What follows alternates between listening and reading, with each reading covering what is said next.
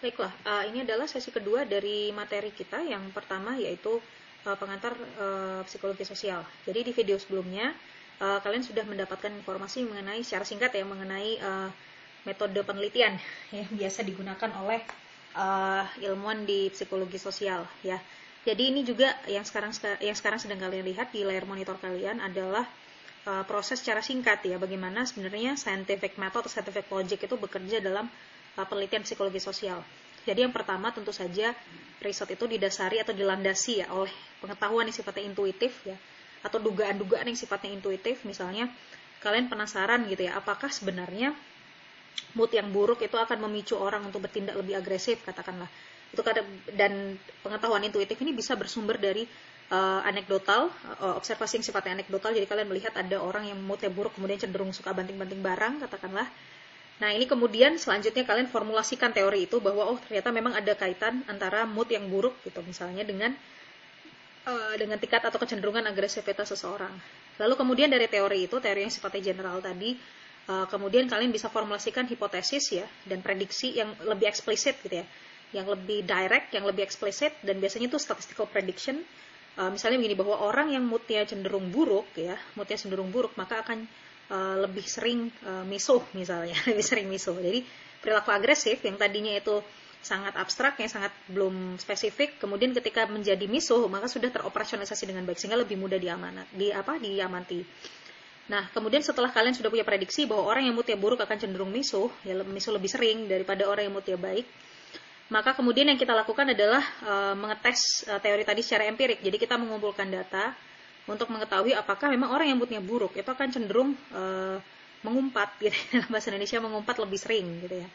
Nah kemudian setelah kalian melihat data ada dua kemungkinan. Kemungkinan pertama adalah prediksi kalian tadi terkonfirmasi. Artinya dari data kalian melihat ada pola bahwa uh, bahwa mood yang buruk itu akan cenderung berkaitan dengan uh, frekuensi uh, misuh yang lebih sering gitu ya. Atau yang kedua bisa jadi nanti prediksinya terdiskonfirm ya artinya tidak terkonfirmasi ternyata memang tidak berkaitan antara mood yang buruk dengan uh, misuh lebih sering atau mengumpat lebih sering. Ketika prediksi itu terkonfirmasi, maka tentu saja ini memberikan lebih banyak kepercayaan diri. Uh, kita akan cenderung lebih percaya bahwa mungkin teori kita ada benarnya, gitu ya, karena ada validasi, karena ada bukti gitu, yang bisa mendukung uh, teori yang kita propose di awal atau hipotesis yang kita ingin uji di awal. Atau yang kedua, kemungkinannya bisa jadi terdiskonfirmasi. Nah, kalau ini terjadi, Eh, kita akan cenderung mempertanyakan kembali benar nggak sih sebenarnya teori yang tadi kita uji hipotesis yang kita uji? Uh, bisa jadi nanti teori akan dimodifikasi ya kita akan melakukan pengujian ulang ya dari teori yang sudah dimodifikasi atau mungkin bahkan teori itu completely rejected ya seperti itu. Nah uh, ini adalah beberapa kemungkinan yang biasa dilakukan beberapa pilihan-pilihan metodologi gitu ya metodologi yang biasa dilakukan oleh peneliti psikologi sosial. Jadi yang pertama adalah uh, metode penelitian eksperimen dan ini memang tradisinya sangat mengakar kuat gitu kalau di uh, psikologi sosial. Jadi sebagian besar teori-teori psikologi sosial itu memang dihasilkan dari penelitian-penelitian eksperimental. Jadi penelitian eksperimental itu ada tiga variabel. Saya kira di sekolah menengah seharusnya di SMA mestinya kalian sudah pernah setidaknya satu atau dua kali pernah melakukan uh, penelitian eksperimental ya. Setidaknya kalian bereksperimen untuk uh, membedakan kira-kira pengaruhnya cahaya terhadap pertumbuhan kecambah minimal kan itu ya. Uh, jadi saya pakai contoh itu aja gitu ya. Jadi nanti dalam penelitian eksperimen itu ada penelitian uh, ada variabel yang sifatnya independen atau kalau dalam psikologi kita biasanya menyebutnya variabel prediktor. Jadi adalah uh, kalau kalau eksperimen jelas kita menguji hubungan kausalitas atau hubungan sebab akibat ya. Jadi sebabnya ya karena kehadiran variabel independen ini akan mengakibatkan perubahan pada variabel. Yang kedua disebut dengan variabel dependent atau variabel tergantung atau outcome variable ya. Dan di antaranya ada confounding variable. Ya, jadi confounding variable ini adalah variable-variable yang menjelaskan keterkaitan antara independent dan dependent variable, tetapi tidak merupakan uh, objek understudy. Jadi itu sesuatu yang tidak diteliti, tapi sebenarnya berkait mengaitkan atau berkelindan dari berkelindan dari hubungan antara variable independent dan dependent. Contohnya misalnya, uh, saya ingin tahu efek uh, apa namanya ketika mahasiswa kelas kognisi sosial kelas B1 ini saya kasih permen, kira-kira nilainya bakal bagus nggak? Nilai ujiannya bakal bagus nggak? Ya. Jadi uh, di sini hipotesis saya adalah mahasiswa yang dikasih permen itu uh, akan uh, punya nilai yang lebih baik daripada mahasiswa yang nggak dikasih permen. Nah, Di sini variabel independennya adalah pemberian permen, ya karena dia adalah prediksi, ya prediktor ya, bahwa mahasiswa yang dikasih permen itu akan cenderung lebih berprestasi akademik, jadi nilainya lebih tinggi daripada yang tidak diberi permen. Nah, sedangkan uh, prestasi akademik atau nilai ujian gitu ya, nilai ujian itu adalah variable dependent, ya. Jadi variabel yang berubah, bervariasi karena independen dia bervariasi. Kemudian ada confounding variable. Confounding variable ini mungkin bisa jadi keterkaitan antara pemberian permen dengan prestasi eh, dengan nilai ujian itu sebenarnya eh, dijelaskan juga oleh variabel yang lain. Misalnya apa? Misalnya eh, sikap belajar, determinasi belajar misalnya atau intelijensi misalnya. Sehingga kemudian eh, pemberian permen ini tidak bisa menjelaskan sepenuhnya eh, variasi yang terjadi antara eh, variasi yang terjadi, variasi nilai ujian yang terjadi di antara mahasiswa. Ya, jadi itu confounding variable. Dan kemudian uh, isu yang kedua adalah apakah kita melakukan eksperimen itu di setting laboratorium atau di setting yang lebih uh, loose ya, jadi misalnya di field experiment. Jadi prinsipnya kalau laboratorium eksperimen itu adalah ketika kita melakukan eksperimen pada situasi yang sangat terkontrol, sehingga kemudian ada banyak variabel yang bisa kita kendalikan. Sehingga kalau itu dilakukan oleh peneliti lain, maka kemungkinan peneliti lain mendapatkan hasil yang sama seperti kita itu akan jauh lebih besar karena situasinya cenderung terkontrol gitu ya. Tapi kalau kita melakukan field experiment yang biasanya juga kadang eh, kadang-kadang itu disebut eh, sebagai kalau kalian lihat di YouTube itu kayak eksperimen sosial gitu ya. Uh, itu prinsipnya lebih loose karena settingnya agak sulit uh, kita melakukan pengontrolan penuh seperti kita melakukan pengontrolan pada eksperimen laboratorium. Nah, kemudian dalam penelitian eksperimen itu peneliti harus dealing sama dua persoalan. Ya, persoalan yang pertama adalah validitas eksternal, yaitu biasanya disebut mundane realism. Kemudian yang kedua adalah validitas internal, ya atau yang biasanya disebut dengan experimental uh, experimental realism. Itu apa perbedaannya? Ya. Jadi pada dasarnya validitas eksternal dari eksperimen, oops sorry.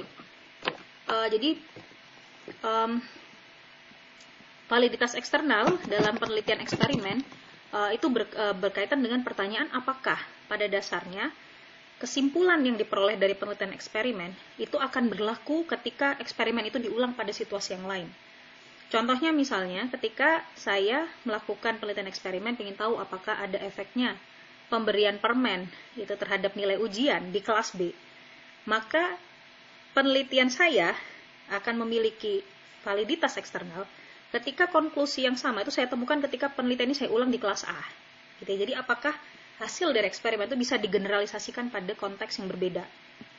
Nah, sedangkan kalau validitas internal itu adalah e, pertanyaan yang berkaitan dengan apakah kalau misalnya ya saya kepingin tahu efek dari permen terhadap nilai ujian, maka saya harus meyakinkan, maka saya harus melakukan kontrol sedemikian rupa sehingga kemudian saya bisa benar-benar yakin bahwa kalau ada perubahan nilai ujian atau kalau ada variasi nilai ujian itu memang disebabkan oleh pemberian permen, bukan disebabkan oleh hal lain. Nah, itu nanti makanya kenapa kita harus melakukan pengacakan dan kontrol kalau dalam eksperimen. Jadi siapa yang masuk kelompok eksperimen atau kelompok treatment dan siapa yang masuk kelompok kontrol itu harus dilakukan pengacakan. Ya, jadi contohnya begini. Saya ingin tahu nih apakah permen itu bisa berpengaruh pada uh, nilai ujian. Makanya kemudian uh, kelompok eh apa kelas B itu saya bagi jadi dua kelompok. Jadi kelompok yang saya kasih permen sama kelompok yang nggak saya kasih permen, tapi dua-duanya dapat ujian. Nah, kemudian di akhir eksperimen akan saya bandingkan nilai ujian antara kelompok yang diberi permen dengan yang tidak diberi permen. Nah, oleh karena itu saya harus memastikan bahwa kelompok mahasiswa yang masuk di kelompok yang diberi permen dan tidak diberi permen itu e, karakteristiknya homogen sama. Jadi intelijensinya sama, determinasi akademiknya sama, jadi yang lain-lain harus sama. Nah, itu kemudian saya lakukan pengacakan, ya. Jadi siapa yang masuk kelompok mana, siapa yang menerima perlakuan apa, itu ditentukan dengan pengacakan atau randomisasi, ya, seperti itu.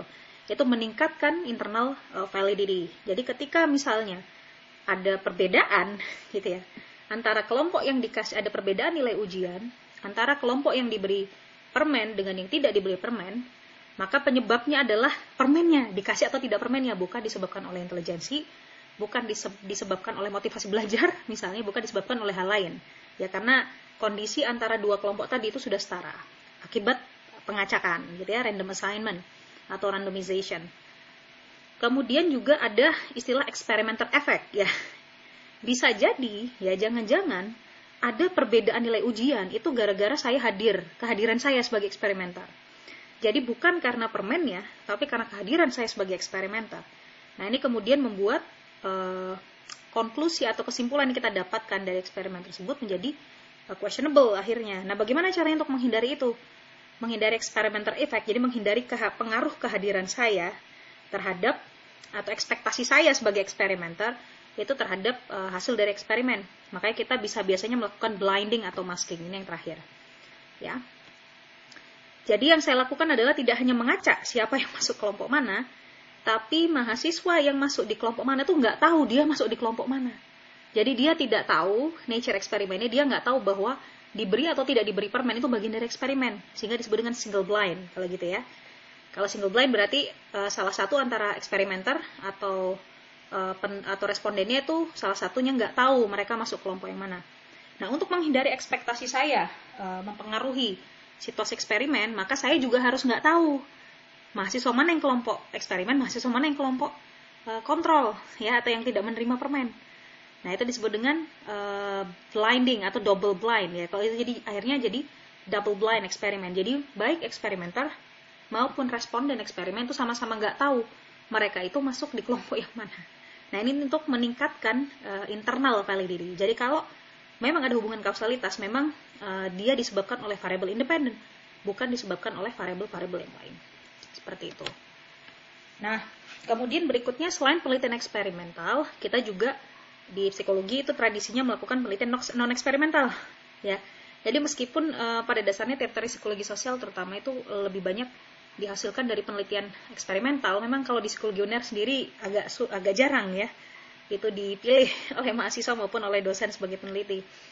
Uh, yang lebih sering digunakan adalah non-experimental methods, ya meskipun tentu saja ini less rigor gitu ya, uh, kurang cermat secara ilmiah kalau dibandingkan dengan experimental method ya. Karena memang experimental method kita bisa me, kita bisa me, mendapatkan bukti adanya hubungan kausalitas. Tapi kalau non experimental method ini agak sulit kalau kita me, menyimpulkan hubungan kausalitas. Yang kita bisa lakukan adalah uh, apa korelasional aja hubungan aja gitu. Misalnya kalian pengen tahu uh, tingkat apa, apa, apa sih sebenarnya ada hubungannya nggak sih antara gender atau jenis kelamin ya jenis kelamin dengan uh, tingkat intelijensi. Yang kalian lakukan adalah mengumpulkan data gender. Jadi kalian tanya sama responden penelitian kalian gender mereka apa dan kalian sekaligus mengukur tingkat intelijensinya. Kemudian kalian bedakan kira-kira laki-laki dan perempuan itu tingkat intelijensinya berbeda atau tidak berbeda gitu ya. Nah, kalau dalam hal ini yang kalian bisa buktikan hanya korelasi. Kalian bisa memang uh, gender itu setidaknya sedikit menjelaskan kenapa intelijensi itu bervariasi. Tetapi bukan berarti misalnya menjadi laki-laki itu adalah penyebab orang lebih punya intelijensi lebih banyak eh, lebih besar daripada perempuan. Jadi kita cuma bisa bilang ya oke okay, variasi pada gender mungkin bisa menjelaskan variasi pada intelijensi, tapi kita nggak bisa bilang bahwa uh, gender seseorang itu akan berakibat pada tingkat intelijensinya ya. Jadi ini hanya sifatnya hubungan korelasional, makanya disebut dengan correlational research ya atau cross-sectional survey. Kemudian ada penelitian archival research ini kalau kalian tertarik sama uh, yang apa model-model historical ya, ya jadi apa uh, terutama kayak case studies juga ya berkaitan dengan riwayat kasus dan sebagainya mungkin menggunakan arsip ya, menggunakan data sekunder. Jadi data yang tidak kalian kumpulkan sendiri tapi data yang sudah ada yang sudah existing kemudian kalian gunakan untuk uh, menjawab pertanyaan penelitian kalian. Case studies itu lebih ke arah penggalian secara mendalam e, riwayat individu. Ya ini sekali lagi nih case studies ini biasa digunakan di pelitian-pelitian psikoanalisis ya. Kalau kalian lihat studi-studinya Freud itu kan banyak menggunakan studi kasus. Tapi balik lagi case studies ini meskipun mendalam dia sangat anekdotal sehingga pertanyaan apakah kemudian kesimpulan yang diperoleh dari sebuah studi kasus itu berlaku pada kasus yang lain itu menjadi pertanyaan besar gitu ya misteri besar. Qualitative research ini juga uh, studi-studi kualitatif ini uh, berkaitan dengan penelitian-penelitian yang sifatnya mungkin interpretif ya. Jadi bukan kalian mencari uh, penjelasan ya bukan explanatory ya modelnya bukan untuk mencari penjelasan atau hubungan sebab akibat atau korelasional tapi lebih kepada pertanyaan yang sifatnya mendalam dan kemudian interpretif. Jadi peneliti itu adalah tools utama alat utama untuk menginterpretasi data. Uh, ini bias dan sub, uh, subjektif uh, apa subjektif komponennya besar sekali. Uh, sehingga kemudian kadang-kadang kalau ini peneliti peneliti lain mencoba hal yang sama seperti yang kalian lakukan kalau kalian lakukan qualitative research ada kemungkinan uh, peneliti lain mendapatkan hasil yang sangat berbeda. Dan ini sesuatu yang tidak di, terlalu disukai gitu ya kalau di sains. Kita kepingin hasil yang konsisten bukan yang berbeda sebenarnya kemudian terakhir ada field studies ya studi lapangan. Dan ini lebih ke naturalistic observation modelnya. Berbeda dengan field eksperimen di mana kalian masih melakukan manipulasi memberikan perlakuan ya meskipun settingnya adalah setting eksperimen lapangan. Tetapi kalau dalam field studies prinsipnya kalian tidak memberikan intervensi apa pun. Contohnya kalian misalnya datang ke satu minimarket, kemudian kalian berdiri di sampingnya kasir dan menghitung berapa banyak uh, pembeli itu yang meminta apa meminta plastik beberapa berapa banyak orang yang menggunakan uh, membawa tasnya sendiri misalnya. Nah, ini kan kalian tidak memberikan intervensi apa pun, tapi hanya sekedar uh, mengamati gitu ya, mengamati apa yang terjadi. Jadi lebih kepada penelitian sifatnya deskriptif, jadi bukan yang bukan explanatory. Oke, ini ada video singkat ya soal apa itu secara singkat yang kemudian summing up apa itu sebenarnya riset-riset dalam psikologi. Saya nggak tahu apakah ini perlu diputar, agak panjang juga sebenarnya uh, videonya. Nanti saya kasih uh, nanti di apa namanya di slide-nya sudah ada uh, apa namanya uh, linknya. Jadi nanti kalian langsung nonton aja di slide ya. Jadi kita langsung lewat aja. Nah, oke okay, kemudian yang berikutnya adalah uh, research ethics. Ini sangat penting karena kalau saya biasanya di metode penelitian saya sering bilang sama mahasiswa, peneliti itu di kepalanya ada logika, ya, tapi di hatinya ada etika. Ya, jadi nggak boleh kita uh, melakukan penelitian itu dengan menimbulkan kerusakan dengan alasan sains. Jadi nggak ada ceritanya uh, peneliti itu uh, mengabaikan etika penelitian dengan alasan kemajuan sains itu nggak boleh ya. Seperti itu. Jadi apa sebenarnya uh, ethical behavior yang harus dipegang oleh seorang peneliti? Jadi yang pertama adalah privacy ya. Jadi bahwa responden yang kita mintain tolong ya untuk berpartisipasi dalam penelitian kita itu adalah manusia, apalagi kalau psikologi ya.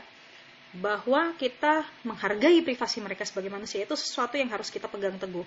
Gak boleh ada ceritanya ya. Peneliti psikologi itu mengumpulkan data pribadi, itu nggak boleh ya. Dengan uh, ya dalam kasus tertentu mungkin itu bisa dibenarkan dengan uh, apa dengan persetujuan ya persetujuan dari respondennya. Tapi pada dasarnya selama itu tidak uh, dibutuhkan, maka seharusnya itu tidak boleh ada ceritanya pengumpulan data pribadi, ya. Dan kalaupun data pribadi itu ada yang dikumpulkan, maka harus dibuat rahasia. Jadi harus confidential. Jadi tidak boleh diberikan pada siapa pun, ya, kecuali uh, hanya diketahui oleh peneliti saja, ya. Kemudian penyimpanan dan sebagainya juga harus disampaikan secara terbuka kepada responden. Ya, jadi peneliti, eh, jadi responden itu harus anonim, ya, tidak boleh memberikan data. Pen, jadi peneliti tidak boleh meminta data pribadi, ya. Kemudian yang kedua, uh, kalian harus memastikan sebagai peneliti itu making no harm ya, tidak boleh sama sekali menyakiti responden, tidak boleh membahayakan jiwa responden ya.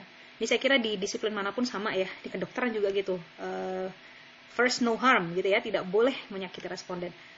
Mungkin kalian bertanya-tanya, mungkin nggak sih bu penelitian psikologi itu sampai merugikan, sampai menyakiti responden? Mungkin ya, mungkin nanti akan saya ceritakan kenapa ini mungkin saja terjadi ya. Berikutnya adalah apakah boleh kita melakukan deception atau menipu responden gitu ya. Karena khawatirnya kalau kita memberitahukan seluruh detail studi kita uh, apa kepada responden, khawatirnya mereka akan memberikan respon yang tidak natural.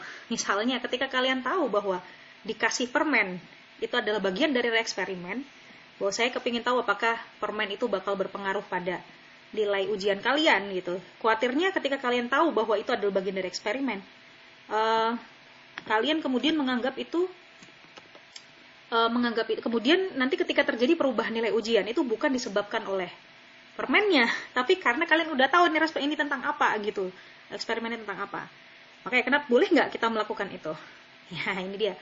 To some extent boleh ya, tapi itu harus sekali lagi harus disampaikan oleh responden bahwa kita akan melakukan sesuatu gitu ya. Jadi responden juga meskipun kita nggak memberikan secara detail ya, uh, tidak memberikan informasi secara detail seperti apa mekanismenya eksperimen kita, tapi setidaknya kita memberitahu bahwa ada uh, deception yang kita lakukan. Dan setelah itu terakhir harus melakukan debriefing. Jadi kita harus memberikan penjelasan kepada responden bahwa ada hal-hal yang kita lakukan tadi waktu eksperimen, ya, sehingga itu wajib harus dilakukan.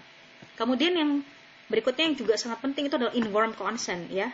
Informed consent ini prinsipnya adalah semua partisipan yang terlibat dalam penelitian itu wajib memberikan persetujuan. Ya, tidak boleh ada ceritanya peneliti itu memaksa, nggak boleh. Memaksa orang itu harus ikut penelitian dia nggak boleh.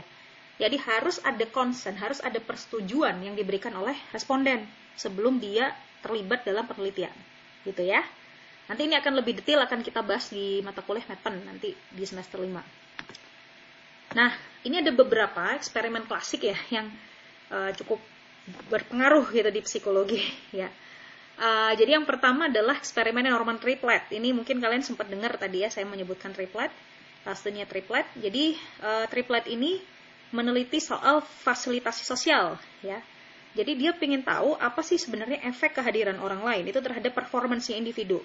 Jadi yang Triple lakukan adalah dia mengamati ya, mengamati performa atlet balap sepeda ketika atlet balap sepeda ini balapan sama orang lain dan ketika dia ngayuh sepeda sendirian. Gitu. Dan ternyata triplet menemukan pola bahwa ketika si atlet balap sepeda itu balapan sama orang lain itu performanya lebih baik daripada ketika dia ngayuh sepeda sendirian gitu ya nah efek kompetisi. Nah ini disebut bahwa oh kehadiran orang lain itu bisa meningkatkan performance individu. Nah ini dia. Ini termasuk satu eh, adalah eksperimen yang paling awal paling mula-mula di bidang psikologi sosial gitu ya. Kemudian yang kedua ini adalah penelitiannya Solomon As nah, ini juga sangat menarik ya jadi Solomon As ini uh, meneliti soal conformity social conformity jadi pada prinsipnya di penelitiannya AS pada saat itu AS itu uh, punya stimulus. Stimulus itu berupa gambar gitu ya, gambar tiga garis gitu ya. Yang tiga garis ini sebenarnya panjangnya sama, ya, panjangnya sama. Namun yang terjadi adalah dia mengontrak, dia membayar sekelompok orang untuk menjadi aktor, gitu ya, menjadi aktor. Nah, kemudian responden penelitiannya itu diminta duduk bersama dengan aktor-aktor ini. Ya, jadi responden ini sendirian, responden penelitiannya Sedangkan orang-orang yang ada di ruangan itu, orangnya ada banyak ya, satu kelompok, itu adalah aktor semua, gitu.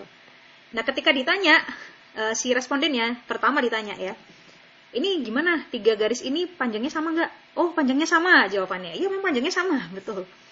Tapi kemudian ketika As bertanya pada aktornya, aktornya itu memberikan jawaban yang berbeda. Dia bilang, oh enggak, garis yang terakhir itu lebih panjang daripada yang lain.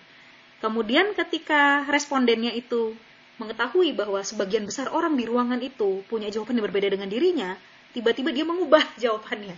Yang tadinya bilang bahwa garisnya itu sama, dia kemudian mengikuti jawaban kelompoknya. Ini menunjukkan bahwa adanya efek konformitas. Bahwa individu itu akan cenderung menyesuaikannya, menyesuaikan perilakunya itu dengan norma kelompok. Nah, ini menarik sekali. Kemudian berikutnya adalah uh, eksperimennya Muzaffer sama Caroline Sheriff tentang realistic conflict theory. Ini nanti ada videonya, nanti kita akan lihat ya seperti apa. Kemudian berikutnya adalah Stanley Milgram. Nah, ini menarik juga ya. Meskipun sangat tidak etis, sangat kontroversial ya. Jadi memang uh, risetnya Milgram itu tentang obedience, tentang kepatuhan terhadap uh, otoritas. Yang prinsipnya pada saat itu secara historis ya, itu memang dilakukan uh, pasca Perang Dunia Kedua sejak orang kaget-kaget kenapa terjadi fasisme di Italia, di Jerman, di Jepang ya. Kenapa kok itu bisa terjadi dan bisa menghancurkan banyak sekali uh, tatanan sosial di Eropa pada saat itu. Nah, kemudian Stanley Milgram itu punya hipotesis bahwa jangan-jangan orang biasa itu bisa akan jadi sangat jahat ketika dia sekedar mena, apa, mengikuti pe, apa, perintah dari otoritas. Jadi orang-orang pada saat itu ketika masyarakat Jerman ya ketika saat itu uh, di bawah pengaruh Hitler mungkin tidak semuanya jahat itu. Officer-officer Nazi itu tidak semuanya jahat.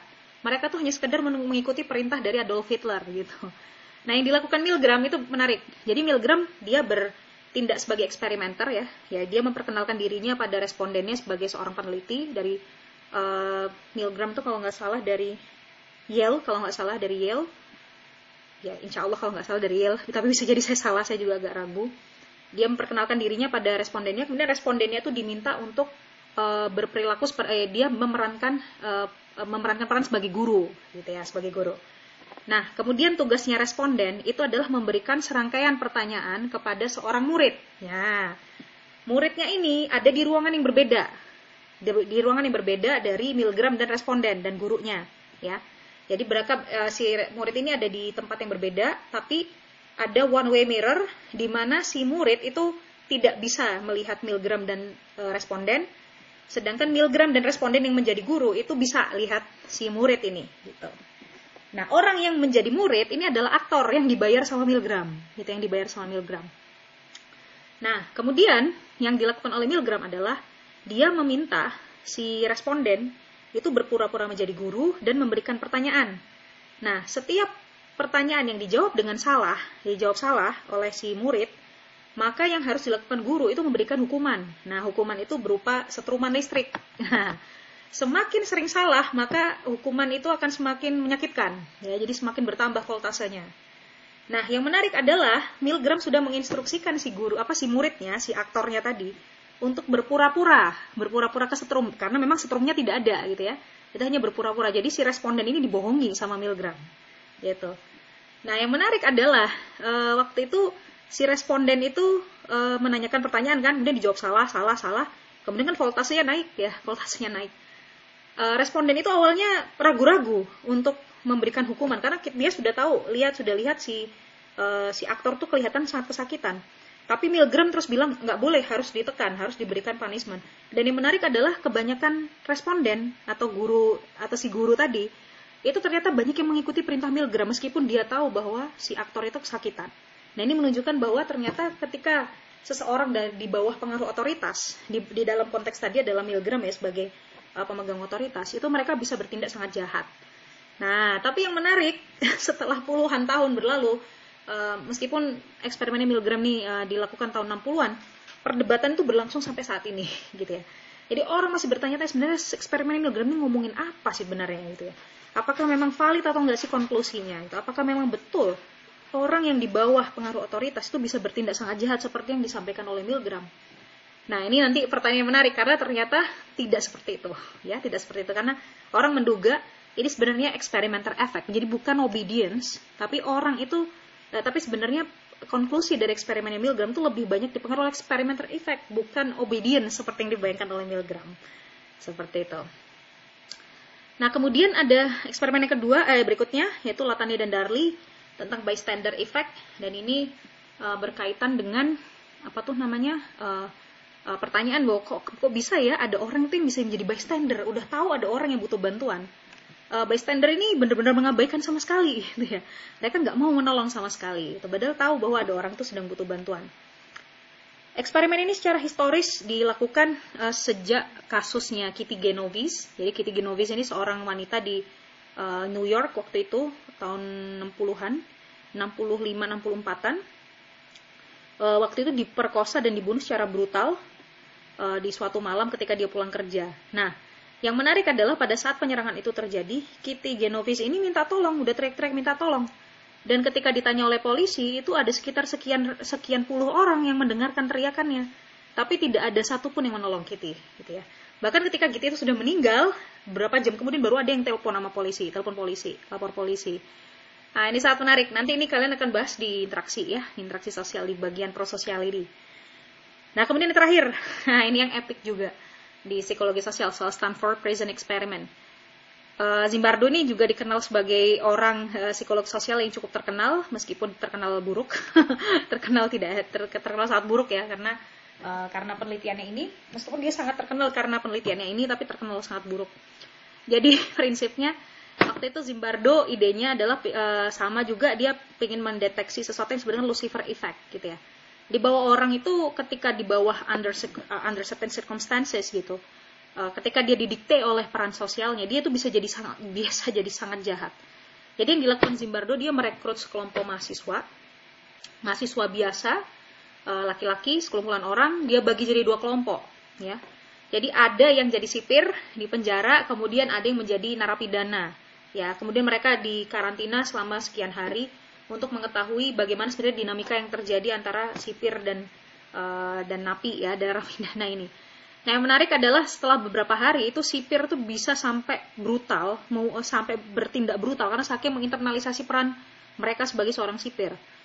Nah yang menarik adalah kemudian itu disimpulkan oleh Zimbardo bahwa oh ya benar Lucifer effect itu it happens gitu bahwa orang itu dalam certain apa circumstances mereka tuh bisa ketika punya power, ketika merasa punya authority untuk menindas orang lain mereka bisa jadi sangat jahat. Orang tadinya orang biasa, kemudian bisa menjadi sangat jahat, gitu kata dia. Namun ketika dicoba oleh orang lain, oleh uh, oleh Nick Haslam uh, di BBC Prison Experiment, ternyata efek yang disampaikan oleh Zimbardo itu nggak ada gitu. Dan kemudian akhir-akhir ini dua tahun terakhir ini baru ketahuan ada apa ada dokumen yang tidak diungkapkan sama Zimbardo. Bahwa ternyata si sipir-sipir tadi itu bertindak kejam. Itu karena emang disuruh sama Zimbardo. Dan itu Zimbardo tidak pernah melaporkan. Emang nggak play kok Zimbardo ini. Jadi wah ternyata scam juga ini apa Stanford Prison Experiment ini sangat saking terkenalnya eksperimen ini uh, saking terkenalnya itu bahkan sampai dibuat film loh jadi kalau kalian coba apa uh, apa di, di, difilmkan beberapa kali. Kalau kalian saya langganan Netflix kayaknya juga ada itu apa filmnya uh, The Experiment. Jadi kalian bisa lihat seperti apa bentuknya. Meskipun sekali lagi di film itu ada cerita-cerita atau skenario ada apa hal-hal yang mungkin tidak disampaikan sama Zimbardo karena Zimbardo juga konsultan di waktu apa pembuatan film itu. Nah ini adalah satu video pendek, satu video pendek tentang Robert's Cave eksperimen ini menarik sekali kalian saya kira harus uh, harus nonton di sini. Ini secara singkat uh, Robert Cave eksperimen ini tentang apa? Uh, dan kalian bisa ngeliat bagaimana modelnya Wild eksperimen itu seperti apa.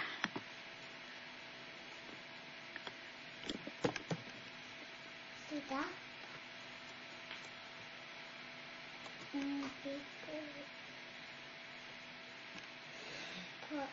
Tapi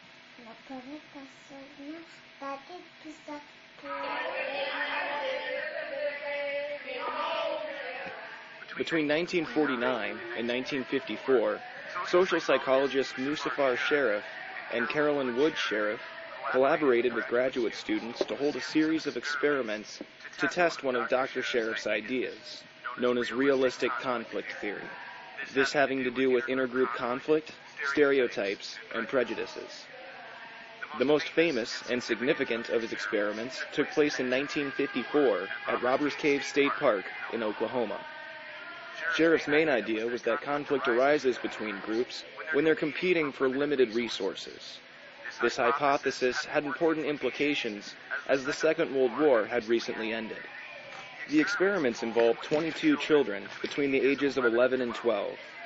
None of them knew each other previously, and all came from similar backgrounds middle class, white, and Protestant. The experiment had three stages, the first being a bonding stage. Before the two groups were made aware of each other, they were encouraged to bond and create social norms by engaging in activities such as swimming and hiking. Here the groups took names, the Eagles and the Rattlers, and developed their own cultures and cultural norms. The next stage was the competition stage, lasting four to six days. In this stage, there was to be friction between the groups, and as such, a series of competitions were arranged. These competitions included baseball, tug of war, and touch football, among others. The winners would receive a trophy, medals, and pocket knives. There was no alternative prize for the losers. The Rattlers, who had developed a norm of toughness and aggression, became emphatically confident in their success. They put Rattlers' flags on the baseball field and made threats about bothering them. The researchers then manipulated situations where one group would gain at the cost of the other. What started as verbal aggression between the groups soon escalated further. After one of the baseball games, the Eagles burned the Rattlers' flag. The next day, the Rattlers raided the Eagles' cabin, flipping beds and stealing personal items. Soon, fistfights would break out, and the researchers had to physically separate the children. After the end of the conflict period, where it was announced that the Eagles were the winners, there was a reducing friction period. The groups were asked to characterize the other group, and it was found that there were profoundly negative characterizations, while holding their own group in high esteem. During this time, the two groups were brought together to engage in non-competitive activities.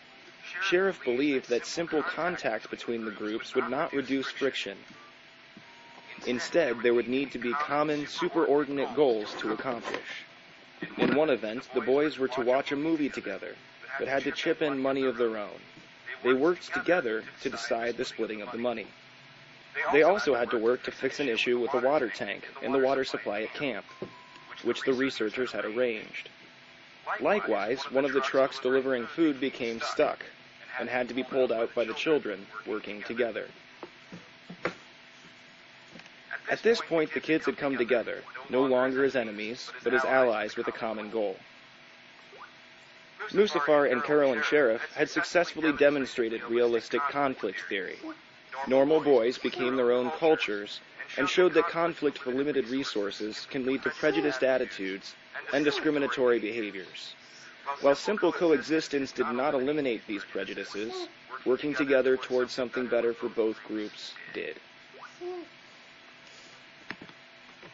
Ya, ini menarik sekali ya. Ini salah satu eksperimen klasik di psikologi sosial yang menunjukkan bahwa uh, ternyata uh, konflik antar dua kelompok itu lebih banyak diintai uh, atau dimulai dari perebutan sumber daya yang terbatas ya, kompetisi atas sumber daya.